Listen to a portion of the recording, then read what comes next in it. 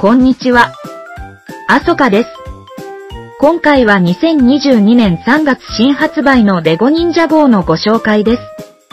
公式カタログでのご紹介です。古い情報なので知っている方は多いかも。カタログによると、スピン術スピナー、回79,688、ロイド7689、J7690 の3セットです。見た感じだと新パーツですがどのように回るのかが気になります。魔界ダンジョン編のスピナーは回転が弱くしっかり回りませんでしたが、こちらの写真を見る限りだとかなり回りそうですね。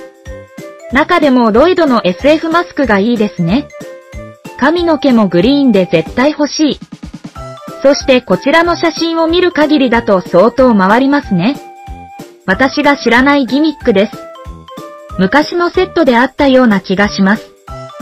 最後まで見てくれたあなたが大好きだよ。ご視聴ありがとうございます。